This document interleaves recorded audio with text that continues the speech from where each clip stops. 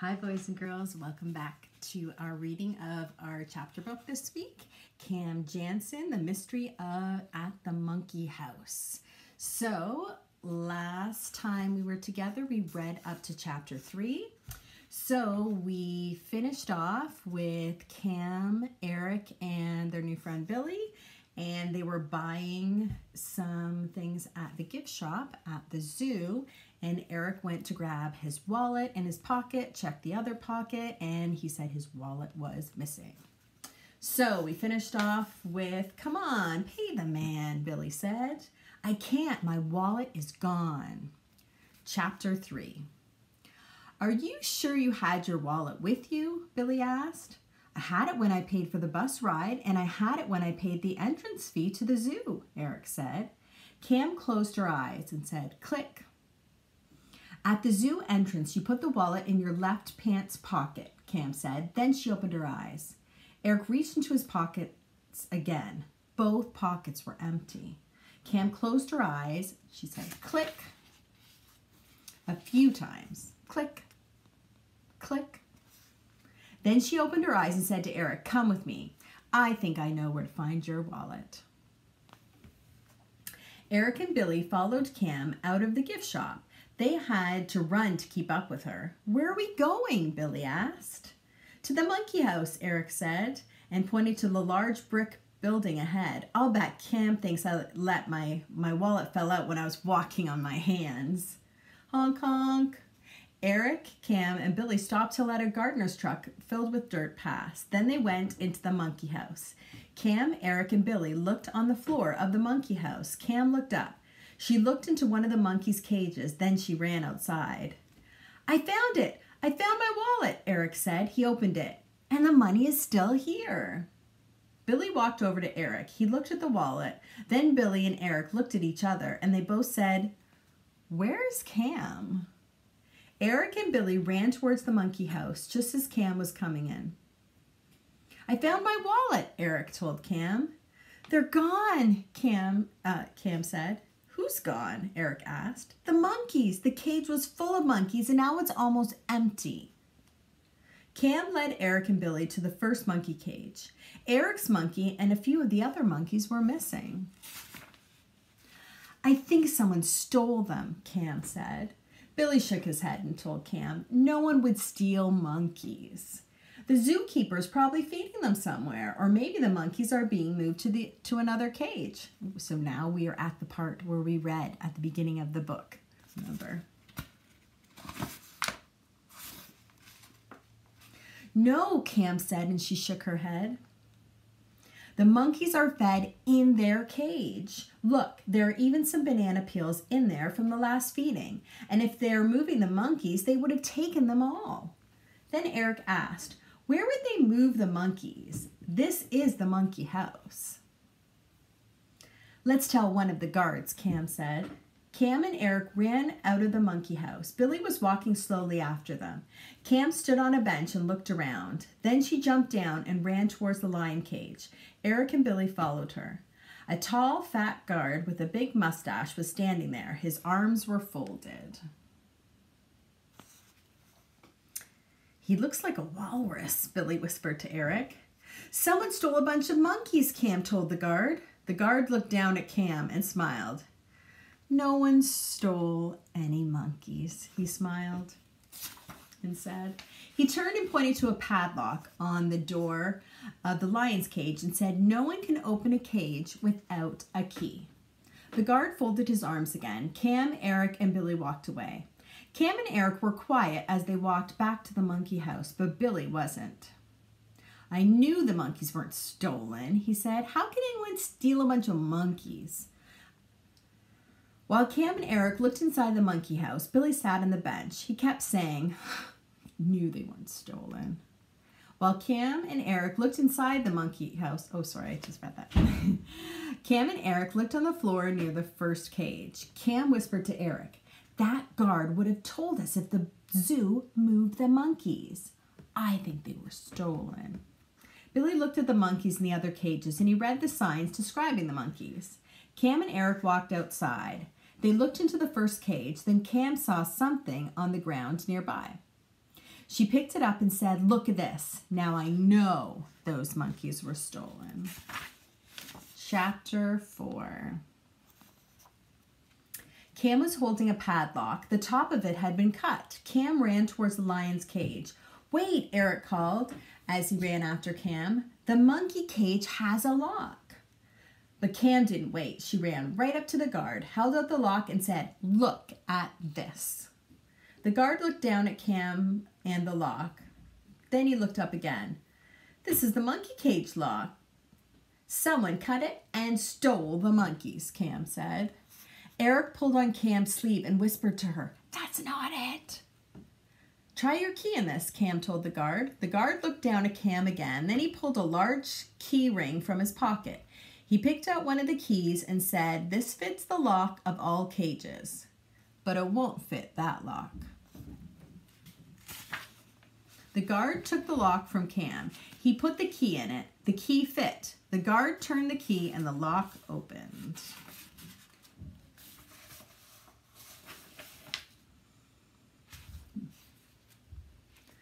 Look at that cage, the guard said. He walked quickly to the monkey house. Cam and Eric had to run to keep up. Whoever stole those monkeys put another lock on the cage door, Cam said as she ran alongside the guard. The guard looked at the lock on the outside door of the monkey cage. He tried to put his key in. It didn't fit. He went inside the monkey house and picked up the telephone.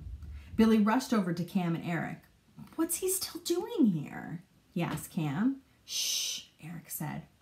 This is Senior Guard Wally Russell, he said into the telephone. Someone switched the locks on one of the monkey cages, and some monkeys are missing. The guard listened for a short while. Then he said, Yes, I'll wait here. The guard looked into the first cage. Billy was right behind him. I knew those monkeys were stolen, Billy told the guard. I just knew it. Cam and Eric were standing by the door to the monkey house. How could someone sneak a bunch of monkeys out of a zoo? Cam asked. Cam stood there looking out. At the far end of the path, she saw two guards running toward the monkey house. Behind them was another guard riding a small cart. That's it, Cam said. Come with me. Cam and Eric ran out of the monkey house. They ran past the guards to the wide paved road near the zoo entrance. Cam stopped near a small boy and a man who were looking at a map. Did you see an ice cream cart go past here? Cam asked. No, the boy said. But we did see one when we were looking at the animals with four legs and the really long necks. Cam closed her eyes and said, click. Then she said, come on, Eric. The giraffes are right down this road. Cam started to run off again. Stop, just stop, Eric called out. I ran with you to get the guard, and I ran back to the monkey house. I did that twice. Then I ran here. I'm not running anyplace else unless you tell me what's going on. Cam stopped. She turned and she told Eric, When I saw the guard riding on a cart, I knew where the monkeys were. They're in an ice cream cart. Those ice cream men ride all over the zoo. And if you take the ice cream out, there's room in one of those carts for two or three monkeys. Maybe one of the guards with the cart stole the monkeys, Eric said. Cam shook her head. The guards had keys. A guard wouldn't have to cut the lock. But how will we get to see if the ice cream man has any monkeys in his cart? Eric asked. Well, we can listen for strange noises coming out of the cart. Or we can tell the man we want to buy some sort of ice cream. I'll bet he'll say, I'm sorry, we're all sold out. Cam smiled and asked Eric, Will you come with me now? Eric nodded, and they ran together towards the giraffes. Chapter 5 Cam and Eric ran down the main road. They ran past the camel rides and elephants to the giraffe's cage. They found the ice cream cart still there. There was a man sitting on a bench reading. We'd like to buy some ice cream, Cam said. The man closed his book. I have piggyback cones. That's a cone with two scoops of ice cream. You can get rum raisin and strawberry or chocolate and lemon. Yuck, Eric said. What horrible flavors. Cam leaned close to Eric and whispered. He really doesn't have any ice cream in there. He thinks by telling us those horrible flavors, we'll say no thanks. I'll take a chocolate and lemon cone, please, Cam told the man. And I'll take rum, raisin, and strawberry, Eric said. The man opened the small door to his cart. He reached in and took out two cones. That's 75 cents each, he said, and he gave Cam and Eric the cones and two napkins. Cam and Eric paid the man, then Eric tasted the ice cream. Yuck, Eric said again. This stuff is terrible. That must be the rum raisin, the man said. Everyone hates that flavor. Cam asked, Are there any ice other ice cream carts at this zoo? Well, yes, there's one near the zebras and another near the reptiles, but we all have the same flavors. Cam said click and closed her eyes. Then she said, The zebras are all the way at the end of this road, right past the camels and the bison. Cam and Eric walked quickly down the road. When they came to a trash can, Eric stopped. He held his ice cream cone over the can and shook it gently. What are you doing? Cam asked. I'm trying to shake off the rum raisin scoop without losing the strawberry. Cam took the top scoop off of Eric's cone and dropped it into the trash. Cam wiped her fingers on her napkin and said, Let's go. The ice cream vendor was sitting on a beach near the, not a beach, a bench near the zebras. She was sleeping with her feet resting on the ice cream cart. She doesn't look like someone who has just stolen monkeys, Eric told Cam. Shh, Cam whispered. She crawled to the ice cream cart. She put her ear next to it and listened. Eric put his ear next to the side of the cart and listened too. I don't hear any monkeys in there, Eric whispered. Neither do I, Cam whispered. All you hear in there is ice cream, someone said in a loud voice, and ice cream doesn't talk. Cam and Eric looked up and saw the ice cream woman standing there. Eric stood and told the woman, Some monkeys are missing. We thought they might be inside of your ice cream cart. Monkeys?